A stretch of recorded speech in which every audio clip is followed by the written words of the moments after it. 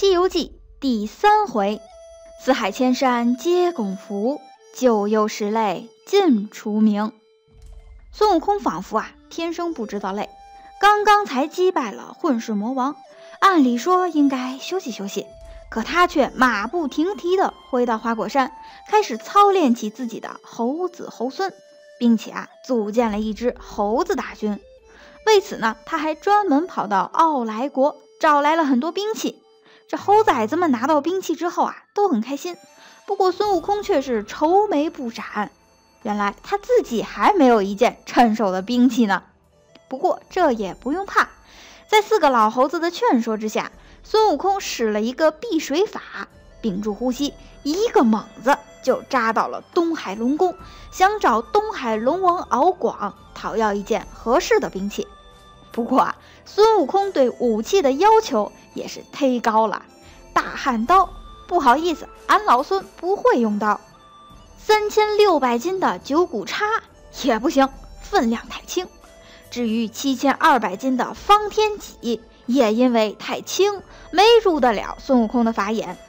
到最后，孙悟空看上了大禹治水的时候放在海中的一块神铁。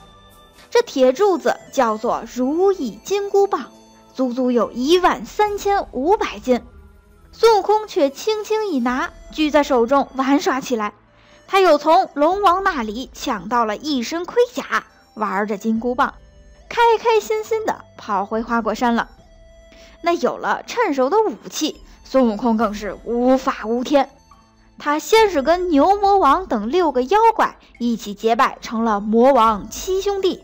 后来更是杀入阴曹地府，在生死簿上把自己的名字和许多猴子的名字都一笔勾销。那从此啊，孙悟空和他的猴子大军便不归阎罗王管理，可以彻底的逍遥快活了。不过，玉皇大帝是不可能容忍孙悟空如此胡闹下去的。但是，秉承着先礼后兵的态度，玉皇大帝也并没有贸然出兵。